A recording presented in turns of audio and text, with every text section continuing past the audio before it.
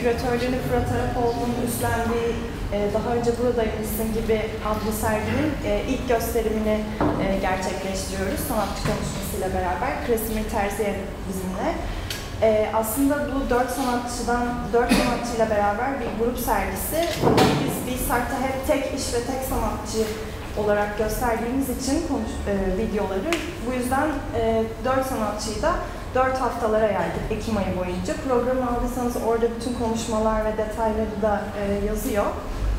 E, bugün Kresimir'in daha önceki e, işlerine de bir göz atacağız sunumla beraber. Ayrıca e, videosunu sonradan, konuşma sonrası e, izleyebilirsiniz. E, bu şekilde. Biraz başlayalım dilersen.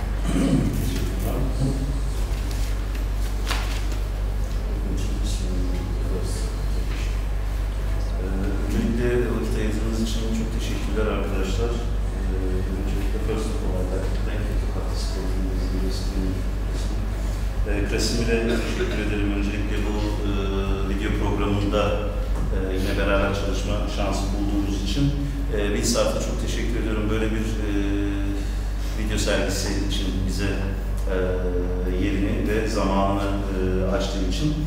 Ee, öncelikle biz, ben yardımcı olmaya çalışacağım ama muhtemelen çevirmen değilim. Elimden geldiğince özetlemeye çalışacağım, toparlamaya çalışacağım arkadaşlar. Bu bir hard task o yani, bu zor bir iş, e, almak çeviri. Ee, ben öncelikle Krasim'i tanıtmak isterim sizlere. Ee, çünkü bazı projelerde beraber çalıştık. Mesela bunlardan biri üçüncü uluslararası Mardin Bienaliydi. Ee, Krasimir Terzi'ye bir e, disiplin arası e, çalışan bir sanatçı ve araştırmacı diyebilirim ve e, çok farklı e, medyalarda, e, işler üretiyor. İşte video, film, fotoğraf, resim, çizim ve metin olmak üzere ve e, genelde sorguladığı alanlar aslında gerçeklik ve kurgu arasındaki. Aslında bu zaten seçkide de yer alan ve bizim sergi başkanımız Feel Like I Have Been Here Before daha önce buradayız gibi aslında biraz işte Zeynep'in bahsettiği gibi kavram metnine bakarsanız eğer biraz bu gerçeklik ve kurgu ve e, dejavu hissini e, nasıl verebiliriz diye aklıma gelen bir konseptti. Onun için bu dört sanatçının işlerini bir araya getirmeye çalıştım. E, Krasimir'in de tam da bu işlere uyduğu nokta bu gerçeklik ve kurgu arasındaki e, noktaları e, sorgulayan işlere sahip. E, Krasimir'in e, kültürel antropolojide e, doktora derecesi var e, Sofya Üniversitesi'nden ve aynı zamanda e, resim bölümünden mezun e, hem lisans hem yüksek lisans derecesi olarak Sofya'da. İşte çalışmaları e, Pompeu, Centre Pompidou'da, Ljubljana'da, Sofya Şehir Belediyesi'nde e, ve Almanya'da çeşitli koleksiyonlarda bulunmakta. Türkiye'de belli başlı projelere katıldı. Benim hatırladıklarım Mesela as I remember we participated in the Young Credit Exhibition. 2010'da Sanat Limanı'nda şu an Mimar Sinan Güzel Sanatlar Üniversitesi'nin müze binası olan mekanda 2010'da Sanat Limanı'nda bir sergi açılmıştı. Balkan sanatçıların işlerinden oluşan kredi ötesi. E, Krasimir Gordik sergiye katılmıştı. Daha sonra biz beraber 2013'te e, Mardin Bienali'nde, 3. Uluslararası Mardin Bienali'nde beraber çalıştık. En son 2016'da TÜYAP'ta e, Ütopya başlığıyla düzenlenen e, TÜYAP'taki sergide bana verilen alanda e, sergide beraber e, yer almıştık. Ve e, her şey yolunda giderse çünkü Türkiye'den bahsediyoruz ya 2019'da e, planladığımız şekilde Versus e, Art Project'te e, Krasimir'in bir e, solo sergisini yapmayı planlıyoruz. E, well, then we can start our conversation.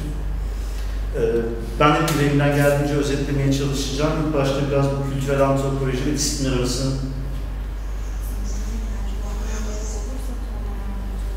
Tamam, tamam. Teşekkür ederiz. Tabii ki, tabii ki. Tamam, tamam. Harika olur. Yani hüküm alırsan sevinirim. Ee, ben ilk başta şu soruyu yöneltmek istiyorum kendisine. Tabii bu kültürel antropoloji, resim, sanat arasındaki disiplinler arası çalışmanın e, şeyi üzerine. So first, you have a MA degree in painting and a PhD degree in cultural anthropology. So uh, you are an interdisciplinary artist. Uh, at first, in or by which media do you feel comfortable to express your thoughts? Um, I I, uh, I believe, first of all, I'm very happy to be here back in Istanbul and thank you all for coming. It's a pleasure. Um, on the question, I think it's very difficult. I think for me, at least, I find it very difficult to stay with one medium nowadays because uh, all relations in society and the ways we live are very complex. Uh, I start my morning with uh, reading the news on my tablet, then I move to my laptop, and then on a desktop computer. So it's much more uh, interesting for me to uh, try to express myself in different uh, media. Uh, but of course, I'm uh, aware that uh, uh, working with different media and changing media too, too much, uh, there is this danger of anything goes. Uh, so when I work with certain media, I try to be self-reflexive and to think about the media. And uh, sometimes I enjoy when I work with different media in this state of interdisciplinarity to reveal the nature of the media I'm working with. Evet, e, tabii ki tek bir e, medya ile çalışmanın e, e, zorluğundan bahsediyor Krasimir. Bundan dolayı hani e, laptopla çalışmak ya da tableti kullanmak veyahut da masaüstü bilgisayarını kullanmak ve kendisi resim çıkışlı olduğunu söylemiştim zaten. Tek bir medium'un e, sınırları içerisinde kendini ifade etmekte zorlandığı noktada medyalar arasında çeşitli medium'ları kullanarak geçiş yapmanın özellikle video sanatı özelinde de önemli olduğundan e, bahsediyor. so, how would you describe the relations between images you work and the media? Uh, I mean, uh, you have some works as you show 39 years later, but now the title is Years Later Work, for instance. Uh, Monument to the Time Elapsed as printing works, and also another works that I remember, A Space, uh, sorry, um, A Space message from a message from space in my my backyard. Uh, how do you describe? Well, uh, uh, Maybe we can talk about years later. yeah, I will start with years later. It's uh, based on uh, found footage and found story. Um, the image is from uh, the iconic image of the first Apollo mission uh, to the moon, where when uh, Neil Armstrong planted the American flag on the moon. And uh, of course, being uh, obsessed uh, user, I found on the web a kind of digital folklore piece about the scientific fact that because of the lack of atmosphere on the moon, the ultraviolet rays from coming from the sun are so strong that this American flag would uh, theoretically would uh, faint in colors in quite a quick uh, uh, time. So it would become the exact opposite of the ideological sign it originally uh, is representing. So the piece is, uh, combines that image, that visualization of the theoretical supposition, and uh, text. So I rely on this dynamic between reading and uh, viewing the image, because as William Fusser says, image is a map in which the gaze travels in unpredictable ways, and text is a linear thing. We start from somewhere and reach somewhere. So this dynamic was interesting for me. Yani imge ve arasındaki bu hızlı geçişlerin e, dikkatini çektiği bir konu bu Years Later çalışmasındaki. Aslında gördüğümüz fotoğraf ikonik olarak e, hepimizin bildiği fotoğraf. Armstrong'un e, aya ayak bastığı görüntü ve oraya ideolojik olarak tabii ki diktiği bir Amerikan bayrağı var e, astronotun. E, fakat ilginç olan nokta şu tabii ki e, aynı zamanda bu tarz konularda e, çünkü NASA fotoğraflarını da çok kullanıyor. Yani buluntu imajları da çok kullanıyor Krasimir bu noktada. Ee, bir obsesif user olarak, kullanıcı olarak aslında yaptığı bu araştırmalarda daha sonra fotoğrafı kullanmaya karar veriyor. Tabii ki ideolojik bir şey bu e, bayrağın dikilmesi ayın üzerine. Tabii işin arkasındaki, background'ındaki e, ilginç nokta da şu, tabii ki ay e, dünya gibi bir stratosfere sahip olmadığı için aslında direkt güneş ışığının e, teoriye göre üzerinde herhangi bir rengin kalmaması gerekiyor. Fakat e, Apollo'ya yapılan bu e, şeyler, e, Ay'a yapılan seyahatler zaten 5 kere yapıldı bu. Ve 1970'den beri yapılmıyor. Ve şu an bilmiyoruz aslında ve bununla ilgili olarak yani aslında o ideolojik olarak o e, ülke e, bayrağına sahip olan renklerin şu an olmaması gerekiyor. Bu konuyu sorgulayan ve böylece imge ve metin arasındaki ilişkileri sorgulayan yapıya sahip. So we can continue with your other work, maybe to the Time Artist. Uh, in this piece, called uh, to the Time Elapsed, uh, what I did was to use uh, the dead laptop I had, uh, laptop that I used for years, that uh, died at, unfortunately at some moment, to engrave my own image. So the operation is claiming that this is the only stable image that uh, stayed on that screen. Uh, uh, the longest uh, image staying on the screen because all other images are were flickering and there are millions of images that passed on the screen, but this is the one that uh, is only possible to stabilize. E, bir, bir zamanlar kullandı ve daha sonra e, artık ömrünü dolduran e, laptopun e, üzerine kendi imgesini nakşettiği e, bir gravürü aslında bu. Laptop ekranının üzerine. E tabii ki biz laptoplarımızı kullandığımızda o sürekli imgelerin akışı ve imgelerin yansıması sürekli karşımıza çıkar. Ama artık orada stabil bir görüntü nedir? Yani sabitlenebilecek görüntü ne olabilir? Aslında kullanıcının sürekli kendini gördüğü görüntü ve en sonunda da e, Krasner bu noktada e, laptopun üzerinde e, kendi kullanıcının portresini kazımaya karar verir. Okay. It's done with this traditional technique of uh, uh, dry point directly on the LCD screen. So it's a very un- un- unappropriate technique, of course, for that kind of advanced uh, digital gadget. But uh, I believe, at least, I imagine myself that using that in an inappropriate technique, I was able to reveal the media specificity of this gadget. E, tabii ki e, bu arada mediumlar arasındaki yani araçlar arasındaki geçişleri de görmek gerekiyor. E, yani elimizdeki laptop üzerine böyle bir farklı teknikle müdahale edildiğinde bu sefer işler arasındaki e, aslında e, yazılım ve donanım e, farklılıkları da ortaya çıkmış oluyor. Uh, next piece is uh, a video I did back in 2008 2009 that is shown uh, at the moment at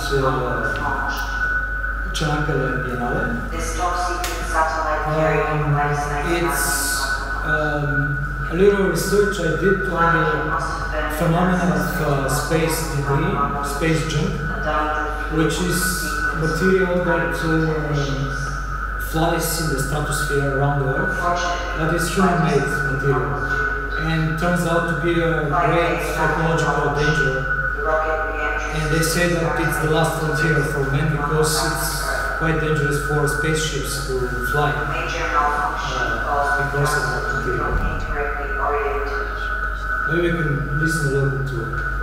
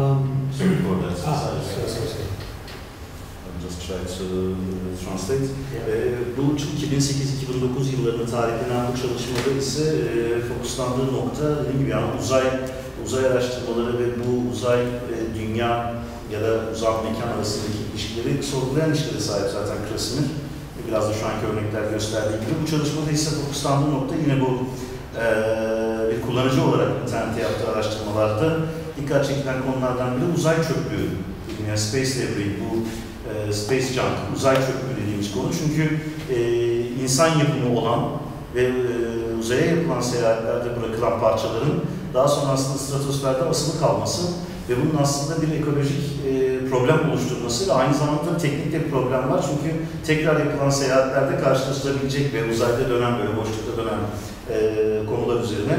Böylece hem bir bilim kurgu anlatısı yaratmış oluyor. Çift kanallı bir çalışma bu.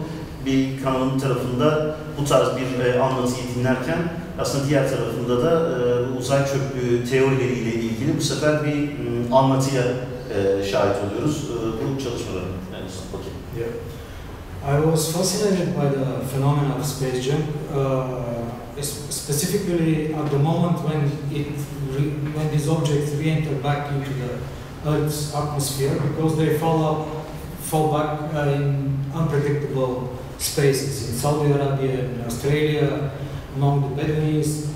Uh, so it's uh, it disrupts any uh, any theore- theoretical uh, any territorial frontiers and any site specificity and uh, stuff like that. And um, it comes back as a alien material, more or less, because it's already a dead material, so it's, it's like a pure form without function. And uh, because it's because of the uncanniness of the phenomena, I try to uh, interpret it in a way, to think about it in a way through science fiction stories. There are excerpts from Brother Stragatsky novels piece, through photographs of all these people who uh, found these uh, objects on the earth and uh, it uh, interesting to photograph themselves in front of the uh, space junk objects uh, through certain philosophical theories about man in space and stuff like that. Tabii bu arada e, Krasim'i heyecanlandıran noktalardan biri de bu uzaydaki e, parçaların daha sonra dünyaya düşmeleri. Bununla ilgili olarak çok farklı ülkelerde bunların karşımıza çıktığını görüyoruz çeşitli fotoğraflarda, işte haberlerde. E, ve bununla ilgili Suudi Arabistan'da e, veya Birleşik Devletler'de, farklı coğrafyalarda karşımıza çıkıyor. Bir diğer yandan bu parçalar yani insanlar parçaları bulduklarında o e, saf formda ama işlevsiz e, ölü malzemeler e, ve yabancı yani tanıyamayacağımız yani bu bulan insanların tanıyamayacağı malzemelerin malzemelerle e, insanların karşılaşması yine bu anlatının, bu bilim kurgu anlatısının ki aslında birçok şeye de konu olan bir şey bu e, teori e, kendisini e, nasıl etkilediğinden bahsediyor. Ne zor şeymiş. Kusura bakmayın. Yok. So, we can continue. Uh, I think that's that's about piece. Uh, Mhm. So it's a, it's a very hybrid uh, piece in terms of media. Conversation we started Mhm. with because it includes this found material of uh, it's full of uh, photographs actually on uh, on the web that I found. Uh, it, and it's full of facts and fictions, and especially for it, I created this kind of 3D animation of a body that is se- uh, semi-technological, semi-natural, uh, with which I somehow identify this uh, space journey. Evet, ya tüm bu üç çalışmayı da aslında arka arkaya hani o hem e, ayağa basmanın fotoğrafı ve bununla ilgili olan e, kurgu hem diğer işleri bir araya getirdiğimizde Monument to the Time Lapse yani e, tablet işinin, evet laptop üzerine kazıma e, işe baktığımızda hem de buna baktığımızda aslında bu farklı mediumlar, araçlar arasındaki geçişlik e, Krasimir'in ilgilendiği konulardan biri e, diyebiliriz. Evet. Okay. So, Uh, I know that uh, you don't like the words uh, teams uh, in your works, but uh, let me ask, uh, what do you want to say about the themes, the content of in your works? Uh, I mean, for instance, you use the images of King Kong, for instance, uh, in your works. Uh, the story of the production uh, of the process of the movie Troy, uh, also, and the stories about the space uh, as we see now. So, what do you want to say about that, the content of your works? Um, İşlerin içeriğiyle ilgili e, neler paylaşabilirsin diye e, rica edeceğim. Uh, within the years, I found out that uh, actually the, the only subject that I'm interested in is how we live with images and how we relate the world only through images. As uh, again, if I refer to Wiener Fusser, a favorite German scholar of mine, of uh, media scholar, uh, he says that images are. Uh, he used the German word uh, and in German for is in front and Stellung is standing. So he says that images are maps that stand between us and the world, between the human body and the world. And that's that's what is interesting for me. But of course it's kind of impossible to talk directly about that.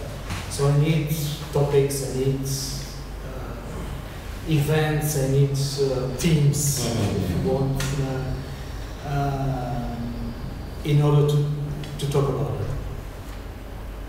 Evet, imgeler aracılığı, yani tabii e, tema sözcüğü ki konuşmuştuk üzerine, tema sözcüğünü çok sevmiyorum ama yani içerik, tema vesaire her ne dersek diyelim.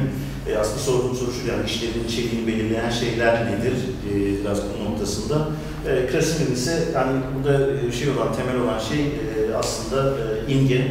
Burada da tabii ki e, mutlaka görsel sanatlarla ya da görsellikle ilgilenen e, kişinin elinden geçmiştir mutlaka. Wilhelm Flusser'in tezleri tabii ki bu noktada oldukça önemli.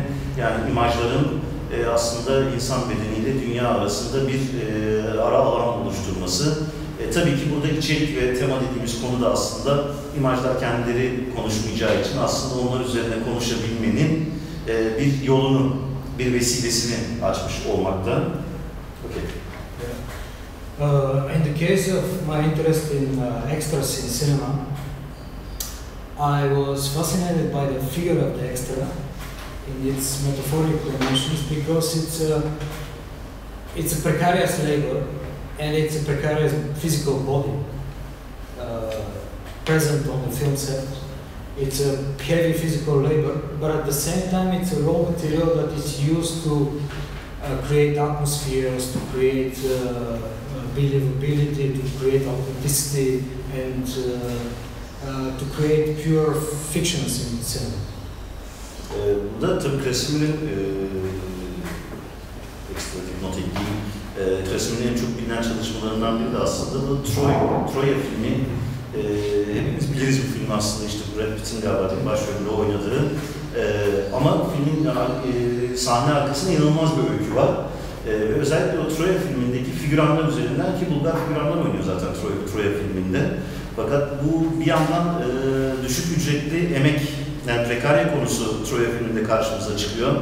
E, çünkü o filmin prodüksiyonunda zaten ucuz emek gücü biliyorsunuz. O film bir ara Türkiye'de çekilmeye çalışıldı zaten girişimlerde olmadı.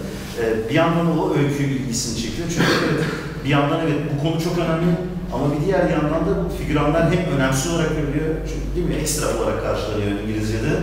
Ama bir diğer yandan da aslında filmin o atmosferinin yaratılması için inanılmaz gerekli olan bir background'dan, background'dan bahsediyoruz. Uh, maybe I can play a short excerpt. Uh, actually, it's a it's a trailer, six minutes long. I don't know if we have six minutes. Yeah, six minutes is going to I let's watch to the leads.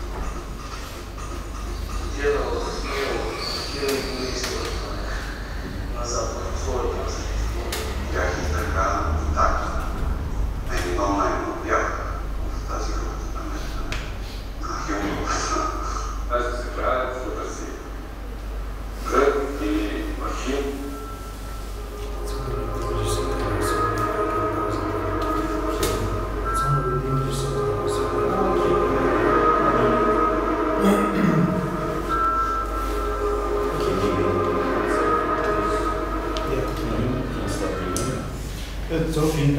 bir şey. Bunun trailerını görebilirsiniz e, internette. Tam da böyle güzelliğini kesmişizdir belki ama tabii e, Troy filminin e, ben de Krasimir vasıtasıyla zaten e, şey yapmıştım. Tabii inanılmaz bir öyküsü var. Yani İngiltere'den başlayan yolculuk, Hollywood'a, Hollywood'dan filmlerde çekilecek, Fas, Malta, Türkiye, Yunanistan, Bulgaristan derken yani prodüksiyonun çok da var, yani e, yüksek bir prodüksiyona sahip bir film zaten. E, bu noktada bu filmin arkasındaki bu e, prekarya üzerinden tabii ki düşük ücretli emek e, üzerinden, figüranlar üzerinden e, öyküsünü kurguladığı bir e, çalışması. E, dediğim gibi trailer'ı, kısa şeyi bulunabilir e, internette. E, let's continue. Mm, yeah, yeah, yeah.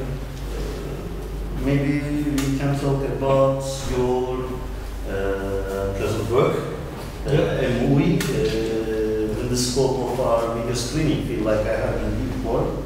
So the, we try to emphasize the notion déjà vu. So what do you want to say about your work uh, in the concept of our screening program? Yeah, actually the video starts with this text, and because it's 27 minutes long, uh, it's uh, high. There is a high chance that people miss the text, and there is that's why there is text on the table. And the text is important because otherwise the image is too cryptic, maybe, and uh, uh, the viewer could miss the point. Uh, and the text explains the initial uh, uh, experiment uh, that the video is a result of. And the experiment is actually that I had for the piece uh, 50 extras, and I filmed it in the Buena Film Studios, which is like the major film compound uh, for the Bulgarian film industry. Uh, used a second-hand uh, uh, film set, so to say, a set that was built by previously done Italian production, and used also a second-hand uh, uh, raw material as the costumes in cinema, stage costumes that are stored in the collection of Buena Film Studios, that are stored uh, from productions taking place from the 50s until nowadays. So, going through that collection of period costumes, one could uh, uh, recall the entire history of cinema and the entire history. So what we did uh, with uh, my team, we dressed these people uh, with historical costumes in a random order, as you can see from various historical ages, and we place them on the film set without explaining them anything, just for to wait for an action signal. It's a usual procedure in uh, cinema production that they wait for hours. Finally, somebody will say action, and they have their five minutes performance, and then they are waiting again another five hours. So we did nothing unusual for the professional uh, way of uh, things performed by extras. Uh, with the difference that we didn't give any action signal and we filmed those that period of waiting and hanging around without doing anything uh, with three cameras. So my idea was to use these rough materials out of which uh, fictions are created in cinema with zero degree scenario uh, and only to rely on these associations and micro narratives that the viewer creates uh, in or uh, his imagination. And that's why also the sound is removed uh, from the face because uh, I just wanted to have create a distance between uh, the image and the viewer and to, to leave the sound to the imagination. Ee, A Movie 2004 yılında çekilen film aslında Bulgaristan'daki e, büyük e, film platosu olan Boyana e, Film Stüdyosu'nda çekim yapılan bir e, çalışma. E, çalışma temelinde aslında gerçeklik ve kurgu arasındaki e, ilişkiyi e, inceliyor. E, konu şu ki üç tane kameranın hazır olduğu bir şekilde e, Bulgaristan Film Stüdyosu'na çağrılan figüranlar oradaki e, film stüdyosundaki 1950'lerden günümüze gelen kostümleri ki binlerce kostümden bahsediyoruz burada e, giydikten sonra e, film stüdyosunda beklemeye başlıyorlar. Çünkü zaten standart olarak figüranların yaptıkları şey bu. Kıyafetlerini giymek ve e, action yani işte kayıt değil mi eski Yeşilçam tabirle motor komutunu beklemek üzere e, figüranlar bekleyişe geçiyorlar. Çünkü oyuncakları sahne zaten çok kısa 5 dakikalık bir şey ve bunu oynayıp tekrar kendileri e, devam edecekler. Beklemeye bu arada. Fakat e, Krasimir e, bu projeyi yaptığında 3 tane kamera çeşitli açılardan çekimleri yapmaya başlıyor ve saatlerce bekliyorlar bunun için fakat asla motor komutu verilmiyor. Ve böylece bu film stüdyosu içerisinde geziniyorlar sadece figüranlar ve o komutu bekliyorlar. Ee, yapmak istediği şey noktasında ise hatırlayabildiğim kadarıyla tabii istediği şey aslında imajla şu an videoyu izleyen bizler yani izleyicileri tamamen yalnız bırakmak çünkü herhangi bir tekst yok. Normalde sinemanın olmazsa olmaz koşullarından biri senaryo fakat herhangi bir senaryo yok. İzleyici böylece kendi filmini kafasında oluşturabiliyor ve bundan dolayı yani bu amaçtan dolayı e, bu video çalışmasında ses de yok. Ve böylece aslında buradaki imajla izleyici karşı karşıya kaldığında bunu belirteceğim izninizle gerçeklik ve kurgu aynı zamanda izleyici ve e, film arasındaki o dolayımı e, bu sefer e, izleyiciye bırakmış oluyor aslında e, yeni okumalara e, izin vermek için. Uh, let me, huh, you, uh, in other words, the King Kong work. Uh, Uh, it's another example of kind of intermediality because uh, I got uh, also interested in the figure of King Kong uh, in the history of cinema because it's a very peculiar character. It's a, it's a non-speaking character that returns into the history of cinema every three decades. There was the original version was from 1933, then there was a remake in uh, 1976, and then in 2005 again. Uh, and that's that primordial, primordial figure that uh, comes every few decades in, and climbs these symbolic buildings on the top of the world in Manhattan and gets punished uh, for that blasphem- blasphemous uh, act. Um, and um, I tried to, to, to display that figure through different media. For example, this is the first piece I created with King Kong. It, it is based on the original soundtracks of the three versions of the movie, but the image is removed. And why is that? Because it's a non-speaking character. So uh, if you remove the image, it uh, and if you remove the sound, uh, the only reference left from King Kong is actually in the dialogues between the other characters uh, concerning. Sorry about that. Uh, I just wanted to translate. Yeah. Ee, biz Krasimir'i etkileyen bir imgelerden biri de King Kong imgesi aslında ve her ee, 10 yılda bir, 20 yılda bir böyle ee, şey yapan sürekli ee, tekrar gündeme gelen bir şeye sahip. Ee, 1942, 1976 ve 2000'lerde çekilen, işte tekrar çekilen bir ee, özelliği var King Kong film, ee, filminin ve o karakterin. Onu heyecanlandıran noktalardan biri ise King Kong karakterinde filmin temelinde yer alıyor fakat asla bir şey yok, repliği yok King Kong'un. Bundan dolayı da bununla ilgili yapmış olduğu bu işlerden biri de bahsetmiş olduğu üç kanallı bir iş gerçekleştiriyor. Her çekiminde orijinal ee, sound'u ee, mevcut fakat ee, filmin imajlarını ortadan kaldırıyor bu sefer. Çünkü aslında King Kong filmin temelinde fakat biz herhangi bir imaj göremiyoruz. King Kong'un varlığını sadece e, filmdeki karakterler arasındaki konuşmalardan biliyoruz. Yeah. Uh, and yeah, it's a very imaginary work. It's three hours long and it's black image and there's dialogue that you hardly can follow.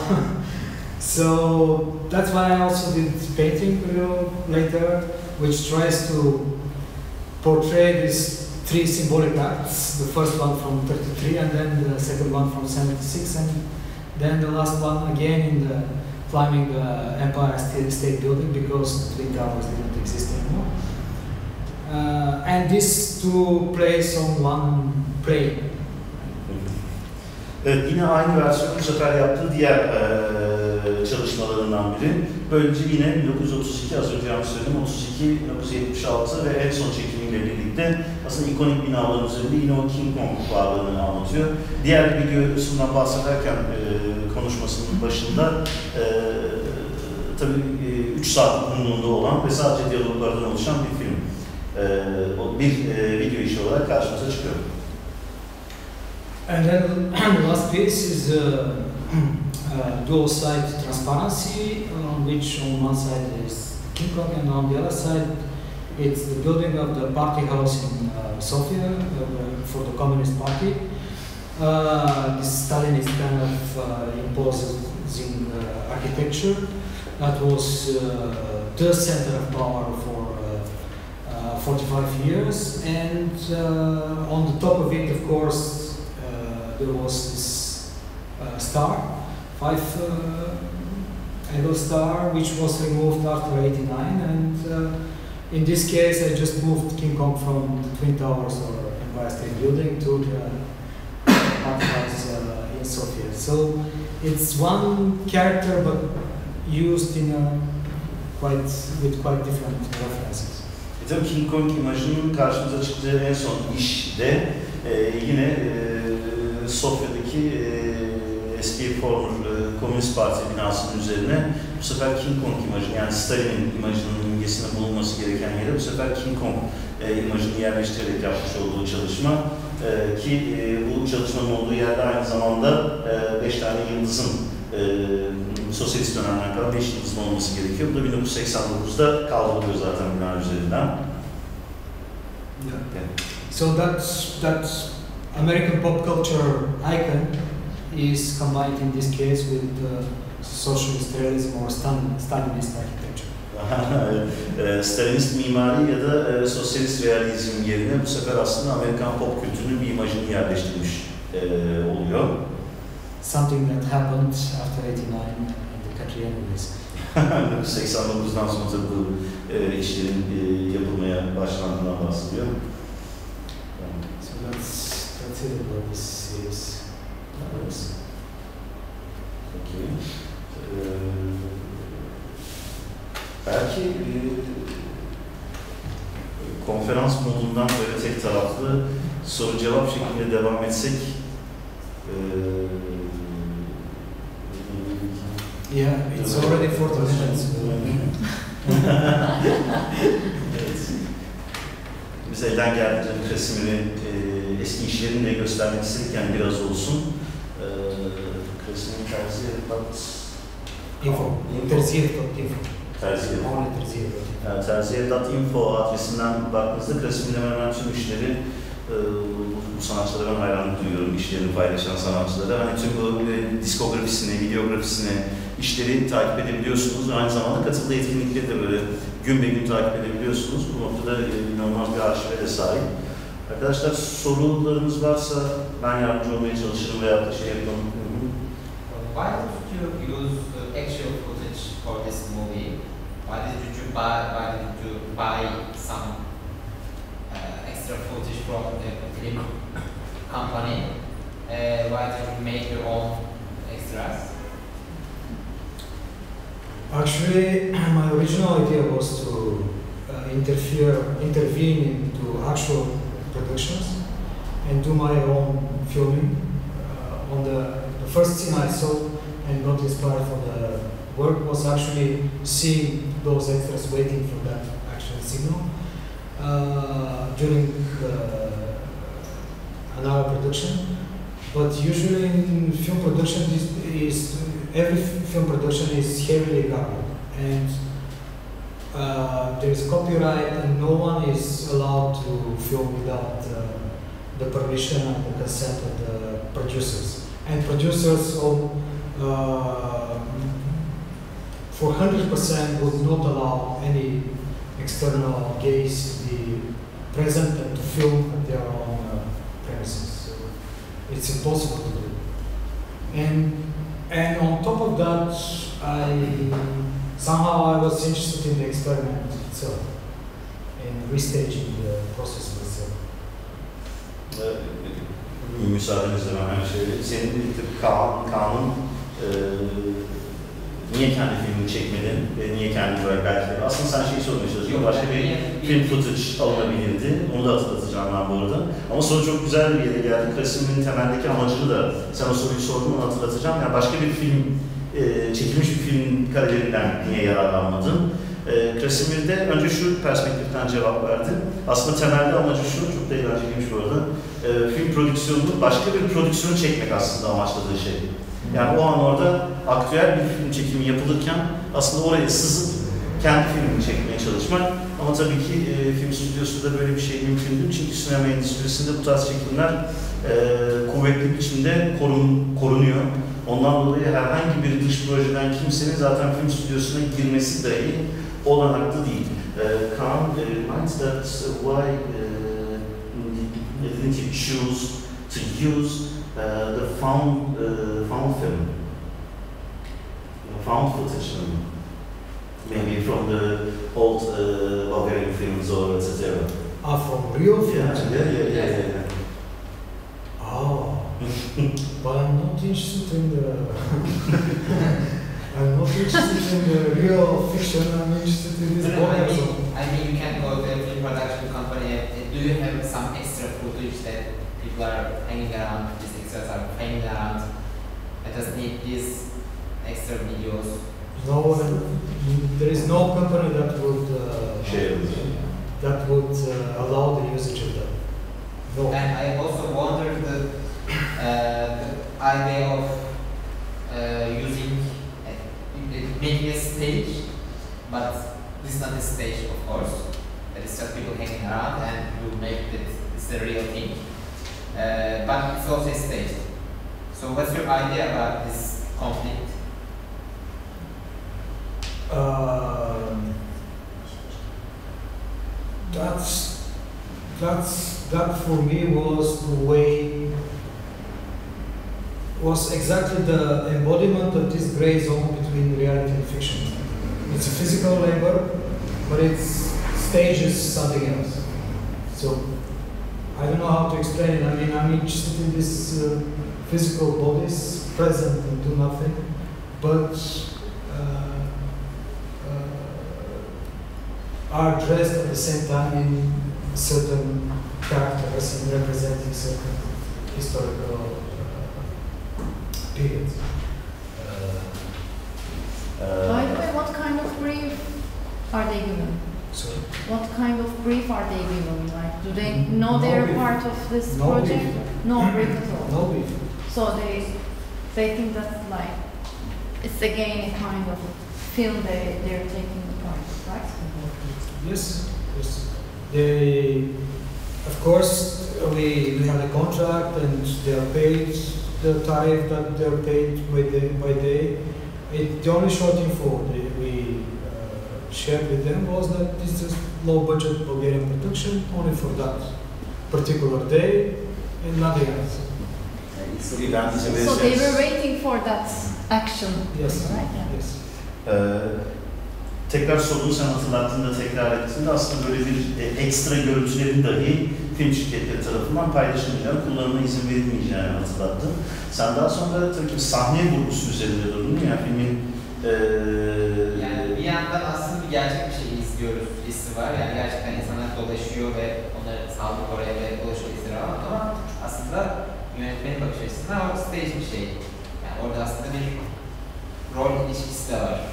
Evet, Krasim'in ise bunu anladığı kadarıyla, tabii şey yaptığı kadarıyla verdiği cevap ise aslında tam da amaçladığı şey e, aslında bu figüranların orada herhangi bir amaçsız şekilde ama fiziksel varlıklarıyla var olmaları ve hiçbir şey yapmamaları e, ve izleyicinin de bunu görme kayıt altına alınması. Sen de tam üzerine eklediğinde hani e, amaç vurgusunu yaptığında e, bu figüranlar e, bilgilendiriliyorlar, ücretleri ödeniyor o gün için e, şey söyleniyor, Bulgaristan'da düşük bütçeli bir film çekileceği söyleniyor E, ve sadece bir prodüksiyonda yer alıyorlar o gün için.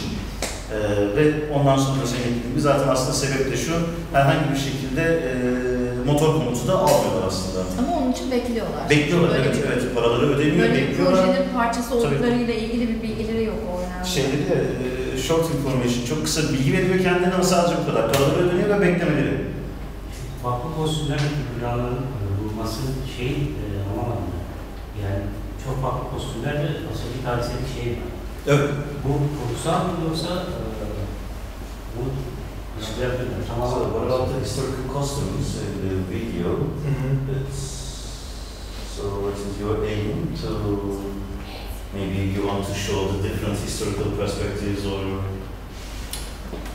Uh, well, first of all, uh, there are many layers of work, and it's an open work. So, um, of course, it's impossible to give any uh, uh,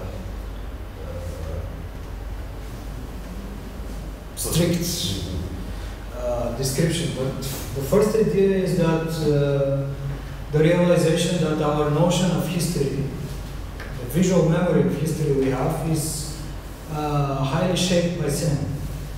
Uh, of course, books, fiction or non-fiction, uh, art history, archaeological remains, but large part of the visual memory we have and visual notions of, uh, of history is shaped, I believe, uh, from cinema. So there comes the usage of these uh, historical costumes.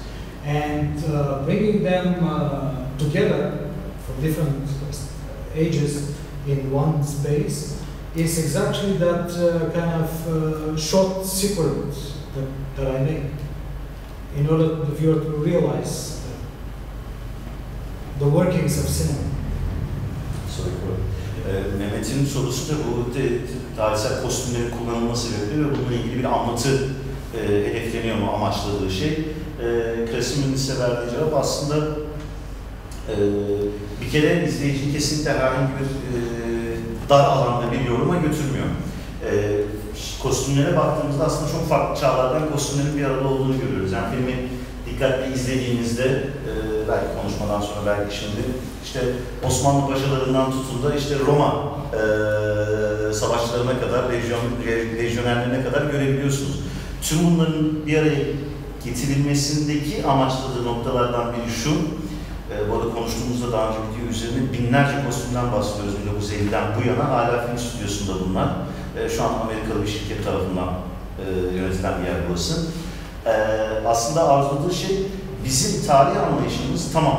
E, kurgu kitaplar var, e, kitaplardan öğreniyoruz vesaire vesaire ama en fazla etkileyen şey bizim tarih anlayışımızı etkileyen alanlardan biri sinema. Özellikle bu görsel tarih yani e, visual memory dediği bu görsel anılar konusunda sinema oldukça kuvvetli. Tam da amaçladığı şey bu farklı çağları bir araya getirip göstererek aslında bir kısa devre yaratmak. E, aslında amaçladığı şey e, tam olarak bu diye çevirebilirim. Buyurun. Ben bir şey sormak istiyorum. Ee, kamerayla insanlar arasında hiç göz teması göremiyorum. Kamera gizli bir kamera mı yoksa e, figüranlara e, herhangi bir şekilde işte kamera bakmayın gibi bir uyarıda mı bulunuldu? Kamera gezerken hareket ederken Are all cameras hidden? And also you, you inform, uh, inform the extras not to look at the camera directly. No. No? This is this is professionally what they do in cinema, but I don't, I don't really care about it. I mean, I, I I'm not creating that kind of full-blown fiction as in uh, cinema, so I don't need them to be hidden as if they are not physical bodies present. Evet, gizli şey kameralar gizliliği kesinlikle ve ikincisi de figüranlar kesinlikle yönlendirilmiyorlar herhangi bir şey yapıp yapmaları konusunda çünkü hani Kresim'in vurguladığı şey hani bu bir sinema değil. Yani bu bir video art çalışması olduğu için hani herhangi bir şekilde böyle komut, yönlendirme veyahut da kamerayı saklama çünkü bu bir e, uzun metrajlı film değil. Arada var aslında. Çok denk gelemedim. Ben de gördüm. Şey. Var. Yani belki de figüran oldukları için Aynen. zaten O kadar alışkınlar ki Evet. bence böyle bir olaya. Bakma ihtiyacı duymuyorlar, takılıyorlar.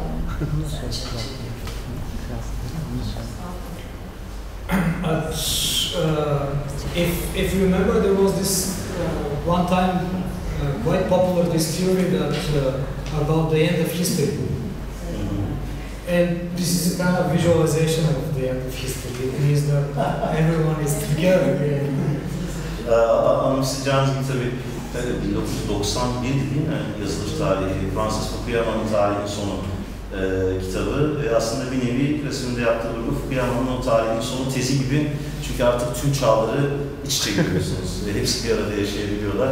Aslında biraz e, anlamak istediği şey bu kadar kendi söylediği kadarıyla. Kıyamaz. Yani siz söyleyin.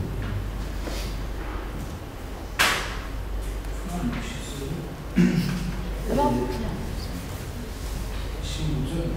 Resmin işlerine baktığımız zaman işte ortak bütün işlerde e, ortak kavramlar var. İşte yabancılaşma, gerçeklikle e, kurgu arasındaki e, durum e, ya da işte bu uh, movies, there's the shared uh, concepts like alienation and uh, the relation between fiction and reality.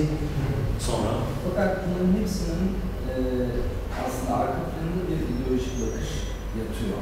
E, fakat bu, e, bu ideolojik bakışa dair bir imgeyi hiçbir zaman işlerde doğrudan göstermiyor. Sadece o King Kong kolejinde var görebildiğim kadarıyla. Bu e, politik olana dair bu ilgiyi özellikle görünmez e, kılmasının sebebi ne? Bunu soracağım. uh, but, but when someone sees your uh, old works, so they have a background, I'm talking about old works, uh, behind that works there is an ideological point in every work of yours. But Charlie asks that uh, we cannot see that ideological point directly, maybe except uh, in King Kong's works on the past buildings. So, siz ne demiştin? En son soru, soruyu bağladım ya. What's the reason? Sempozyum sorusu. Yok. Bu e, yani bunu özellikle mi gizliyor? Özellikle What's the tercih reason ediyor? you're hiding actually these the, the ideological point of view? How to hide it? Yeah. Uh, that's a tough one. uh, well, I like subtlety because uh, if even any direct message risks to become propaganda, and I believe that um, in any in any conflict there is a high level of ambiv- ambivalence and ambiguity, and interpretation is not. It's impossible to give straight interpretations. I mean, it's dangerous to give straight interpretations to thoughts. Uh, any conflictual. I don't know. One of the exhibition in Charles is ambivalence. so why you're asking? Ee, evet yani o tekinsizlik hali, o arada olma hali ve direkt mesaj vermek her zaman tabii ki propaganda olmak gibi bir risk üzerinde, riski üzerinde taşıdığı için aslında o belirsiz noktada, aradaki noktada kalmayı tercih etme eee stratejisi diyebilirim. Diyebilir. Der.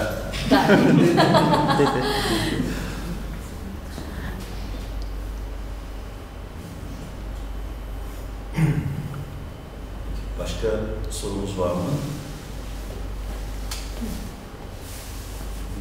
Biz çok teşekkür ediyoruz katıldığınız için. Biz de teşekkür Ee, ederiz. tekrar e, hem Bilisat'a e, hem sanatçı arkadaşlarıma da ben özellikle teşekkür edeyim. So, I'd like to thank, Yeah, thank thank you. you very much for your participation. Yorucu oldu sizin için.